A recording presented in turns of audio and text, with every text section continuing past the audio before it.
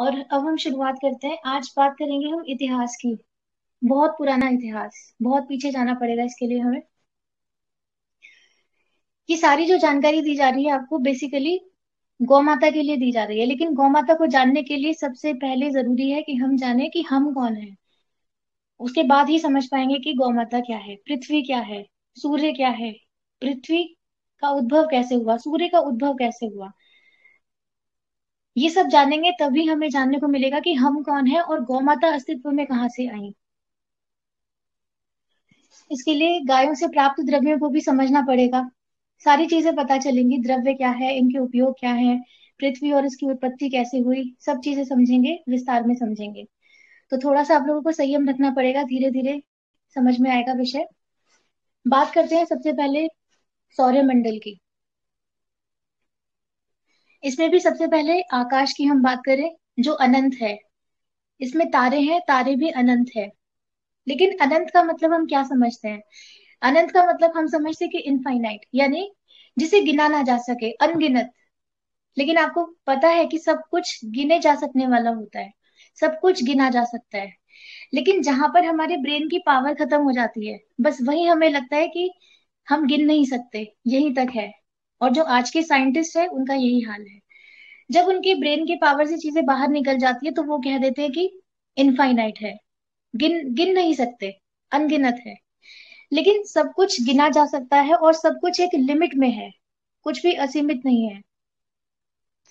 लेकिन होता यह है कि हमारी सामर्थ्य से बाहर होता है तो हम कह देते हैं कि इनफाइनाइट है। तो मस्तिष्क की क्षमता से अगर कुछ चीज़ें ज़्यादा हो जाती है तो आज के तथा कथित वैज्ञानिक उसको कह देते हैं कि इनफाइनाइट है। ऐसा ही कुछ होता है जब वो, अगर हम एलोपैथी की बात करें तो वहाँ भी ऐसा ही होता है। उनके मस्तिष्क से जब चीज़ें बाहर निकल जाती है तो कह देते हैं कि ये तो इनक्योरेबल डिज़ीज़ है। जबकि होता क्या है, वो केवल चार तत्वों पे काम करते हैं। अगर बात की जाए आकाश तत्व की, अगर आकाश तत्व से संबंधित कोई रोग है किसी को तो वो कह देंगे कि इनक्योरेबल डिज़ीज़ है, क्योंकि उन्हें पता ही नहीं है। उनका मस्तिष्क उसको सोच ही नहीं पाता। केवल चार चीज़ों की पढ़ाई पढ़ते हैं वो लोग और उसके ऊपर ही अनुसंधान करके उन्होंने एलोपैथी बनाई है, उसको पूरा डिज़ाइन किया है। तो ये बात थी कि जब मस्तिष्क की क्षमता से कुछ चीज़ अधिक हो जाए, आकाश में अनंत तारे हैं और वो अपनी धुरी पर घूमकर चक्कर लगा रहे हैं। चक्कर लगाना क्या होता है? अर्थात गति, सब में गति है। पूरे ब्रह्मांड की अगर हम बात करें तो सब में वेग है, यानी कि गति है। और अंग्रेज़ी का शब्द उठाएँ तो वेलोसिटी है। और वेग है, इसीलिए अस्तित्व है। सब कुछ घूम रहा है, सब कुछ किसी ना किसी के चक्कर लगा रहा है, इसीलिए हमारा अस्तित्व भी है। अगर ये वेग रुक गया तो सब कुछ खत्म हो जाएगा। सब कुछ अस्तित्व खत्म।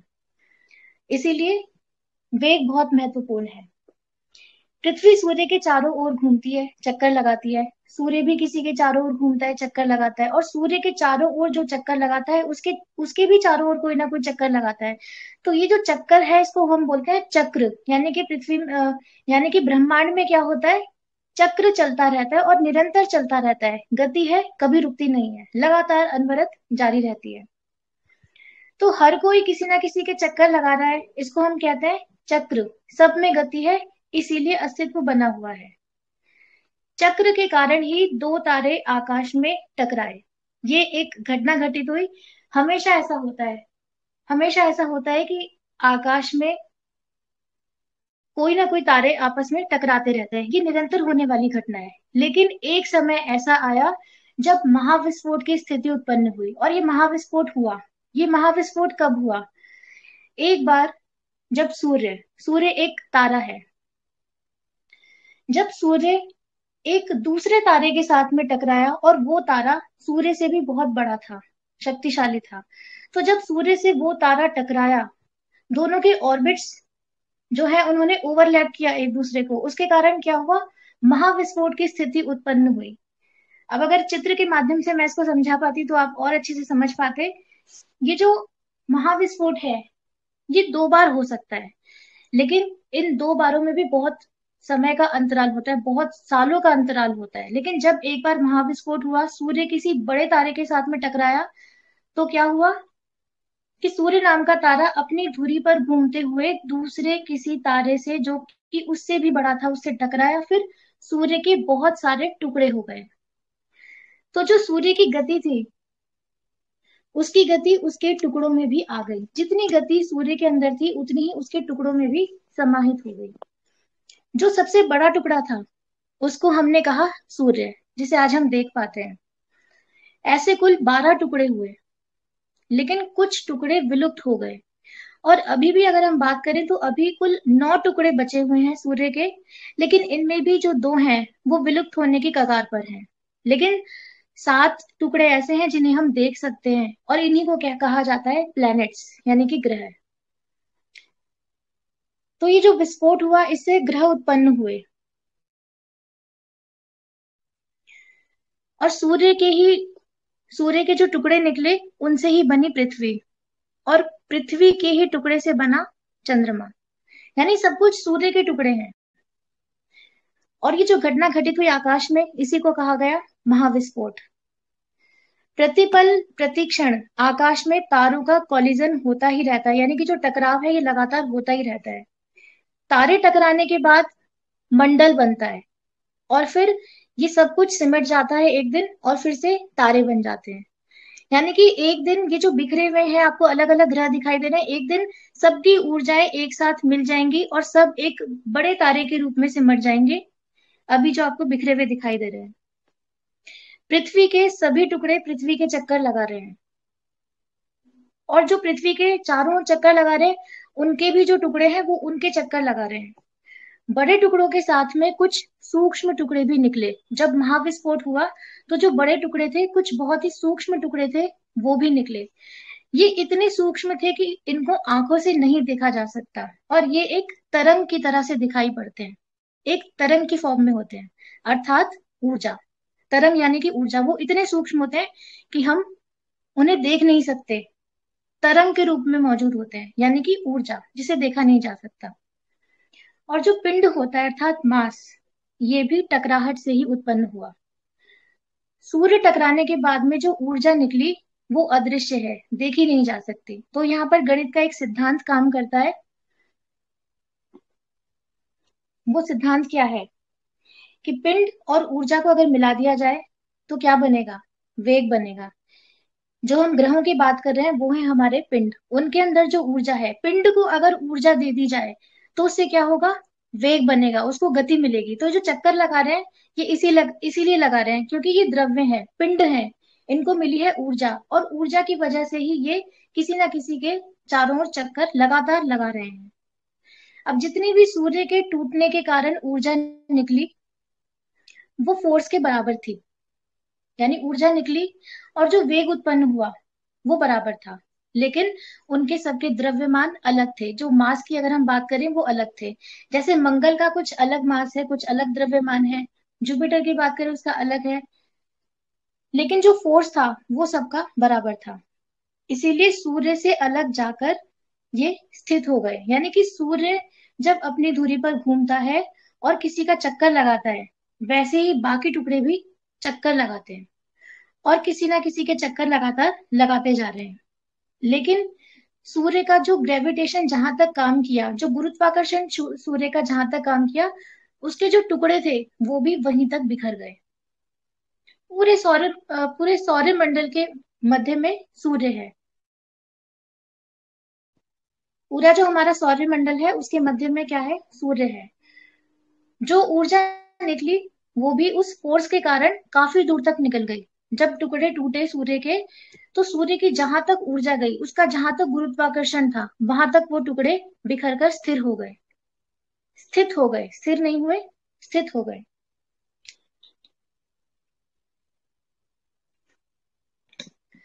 सभी ग्रहों और उपग्रहों की जो ऊर्जा है, उसका जो ओरिजिन है, वो सूर्य है। अब एक दिन क्या होगा कि सूर्य फिर से सबको अपने आप में समाहित करके एक हो जाएगा। तारों का टूटना और समाहित होना, ये लगातार ब्रह्मांड के अंदर चलता रहता है।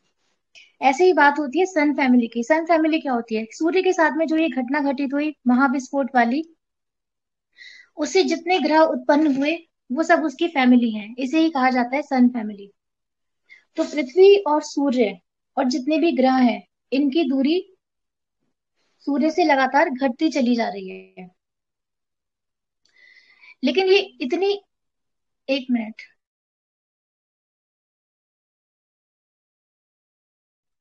हाँ जी।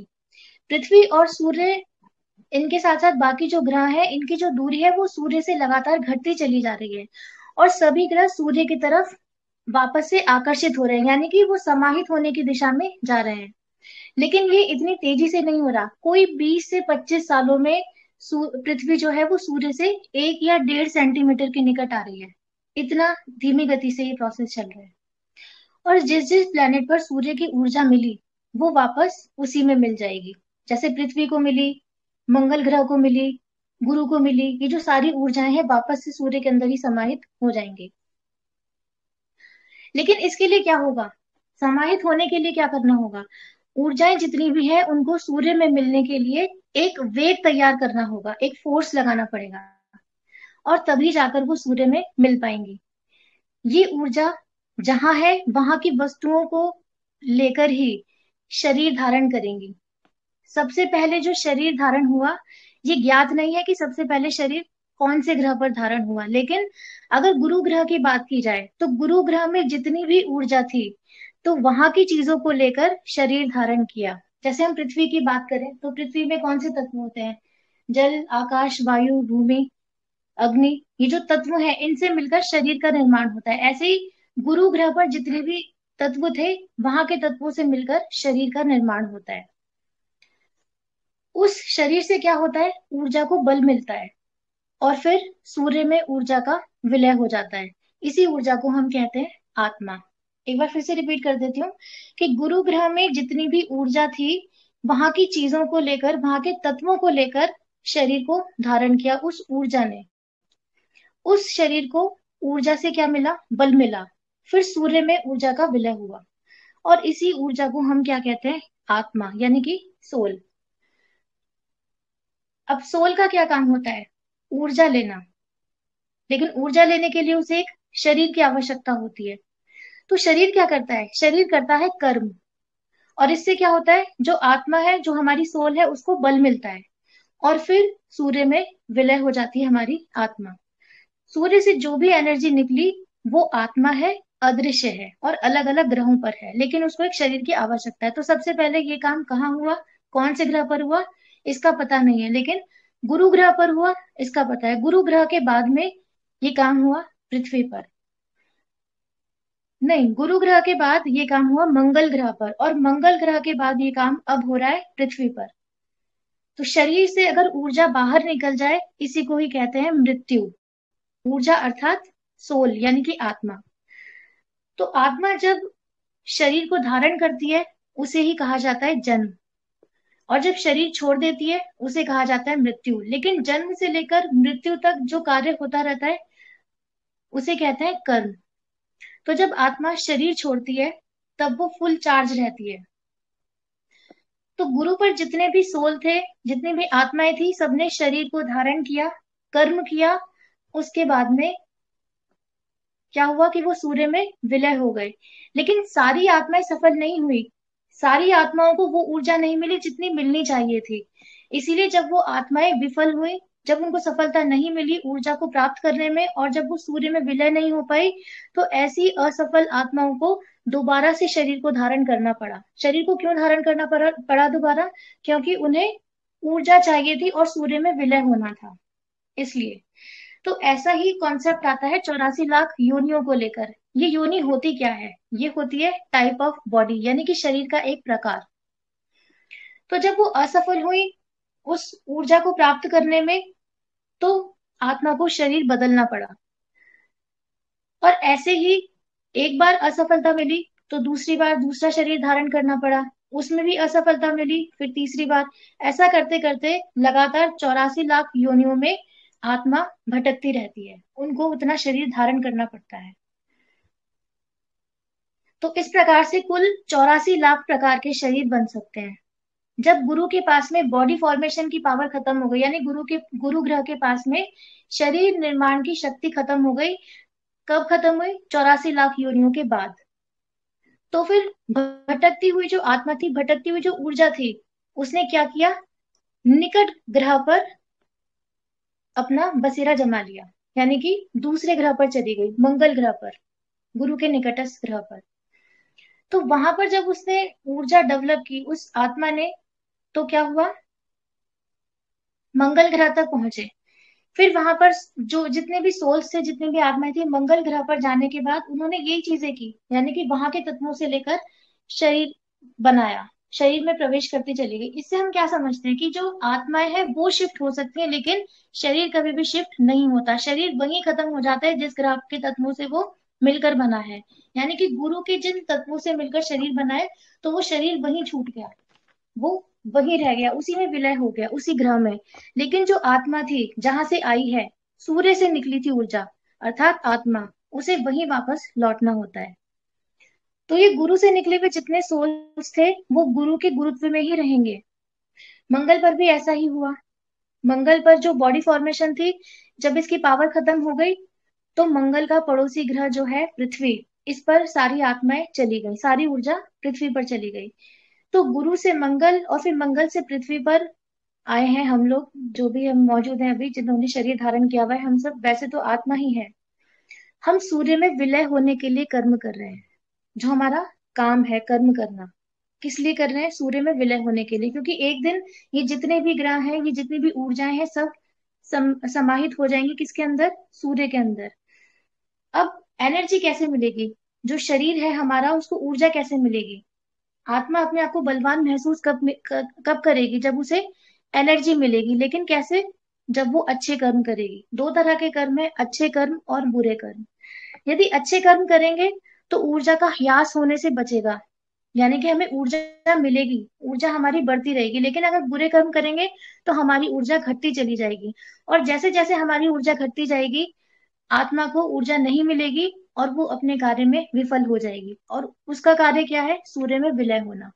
जब सूर्य को लगेगा कि आत्मा के पास में उतनी ऊर्जा नहीं है जितनी मुझे चाहिए तो वापस से उसको वही काम करना पड़ेगा वापस से उसे एक शरीर धारण करना पड़ेगा और इसी तरह से चौरासी लाख योनियों में वो चलता रहेगा।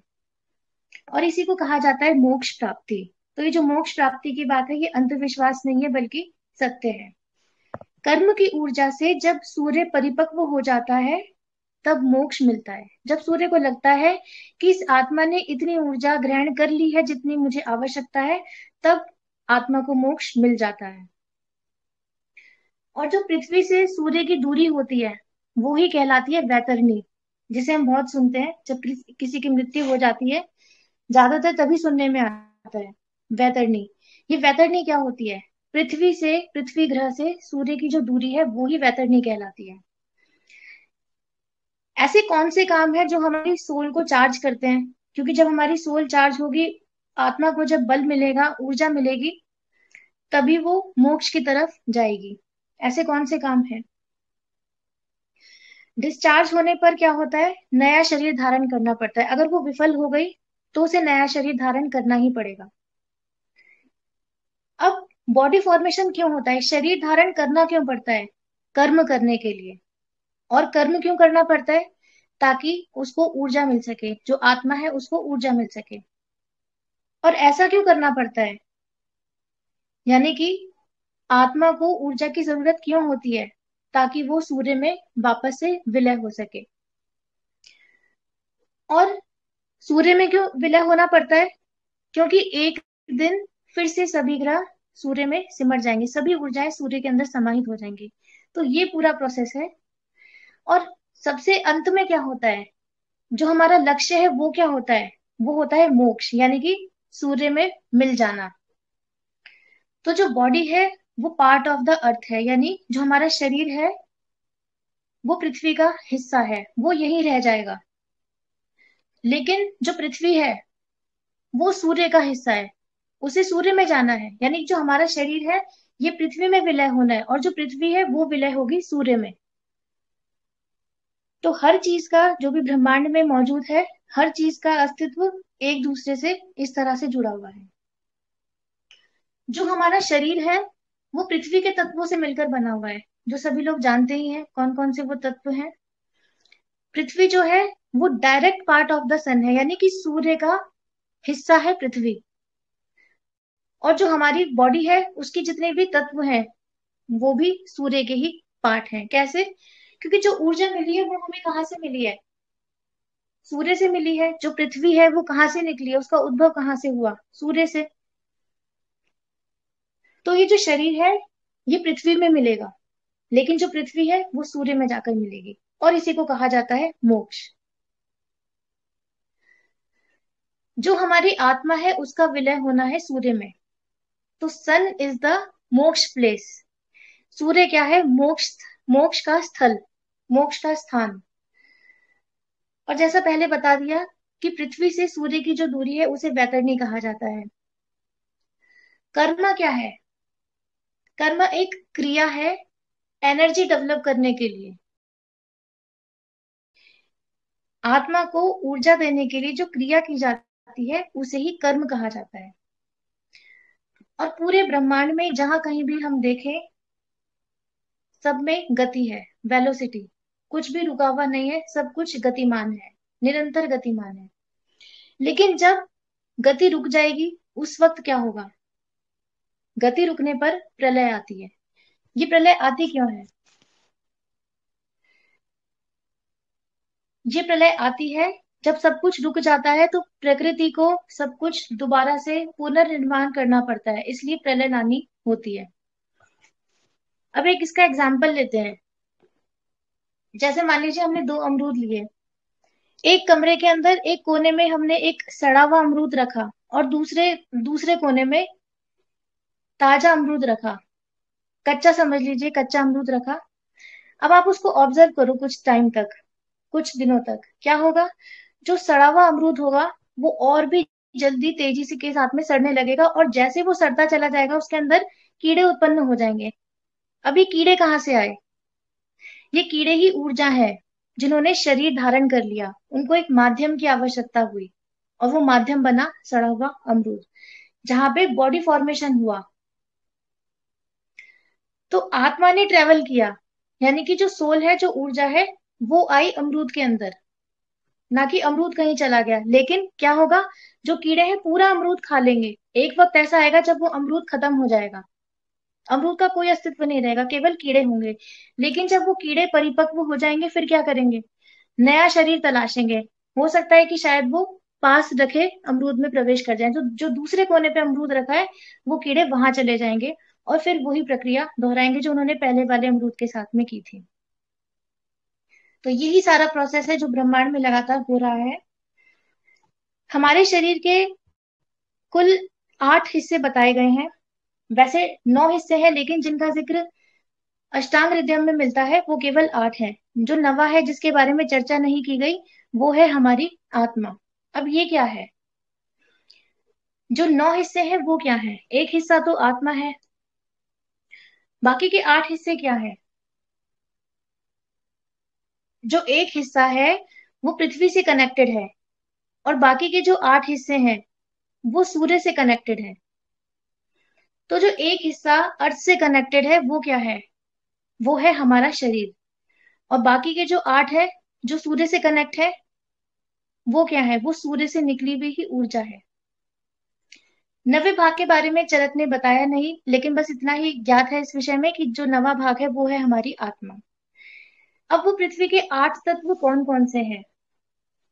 नौ के बारे में चर्चा है।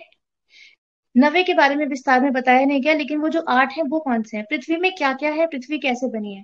पृथ्वी पृथ्वी आठ तरीकों से बनी है, यानी कि जो पृथ्वी है, उसके आठ हिस्से हैं, आठ तत्वों से मिलकर बनी है। भूमि, जल अग्नि, वायु, आकाश। ये तो पाँच है जिनका हम ज़िक्र सुनते ही रहते हैं।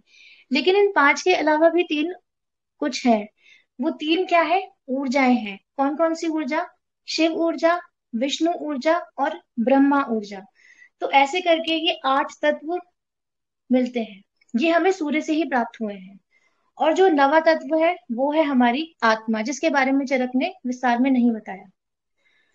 हमारा शरीर भी इन्हीं तत्वों के साथ मिलकर बना है। ज़्यादातर हम सुनते हैं कि पाँच तत्वों से हमारा शरीर बना है, लेकिन दरअसल कुल देखा जाए तो आठ तत्वों से शरीर बना है। बाकी के तीन तत्व कौन से हैं? तीन ऊर्जाएँ हैं, शिव, विष्णु और ब्रह्मा।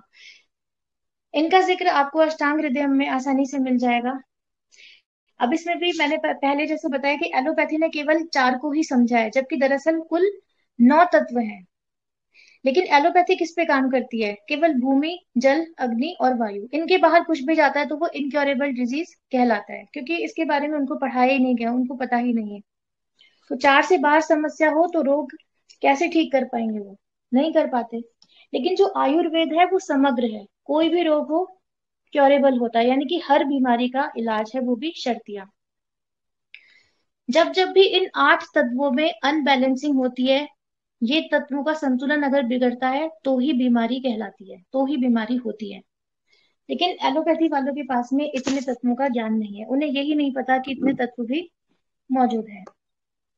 तो इनक्योरेबल डिज़ीज़ का कॉन्सेप्ट यहीं से आता है due to lack of knowledge यानी कि ज्ञान की कमी के कारण। तो जो वाघ भट्ट जी ने बताया है कि चिकित्सा विज्ञान जो है, एक बहुत ही सरल विज्ञान है, बहुत आसानी से समझा समझे जा सकने वाला विज्ञान है। क्यों? क्योंकि केवल दो ही चीज़ हमें सीखनी है। अगर ये विज्ञान के बारे में जानना है तो केवल दो ही चीज़ें समझनी है। पहला, एक तो शरीर को जानो कि शरीर क्या है, और दूसरा, अपने भोजन को पहचानो।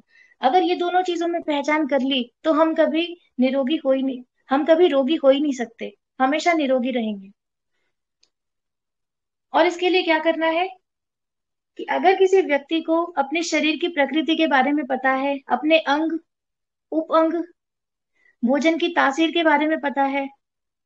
ये सब जिसे पता है, वो है मास्टर ऑफ़ हिज और हर बॉडी यानी कि उसने अपने शरीर पर विजय प्राप्त कर ली है। अगर उसे ये सारी चीज़ों का ज्ञान है तो।